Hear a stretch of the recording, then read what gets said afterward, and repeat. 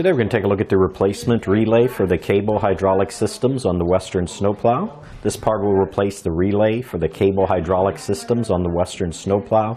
It does replace the Western part number 56131K. It is a continuous duty 100 amp relay. It is a flat mount design with the four post. does include the nuts and the washers and even the jumper wire. And this part is made in the USA. But that should do it for the review on the replacement relay for the cable hydraulic systems on the Western snowplow.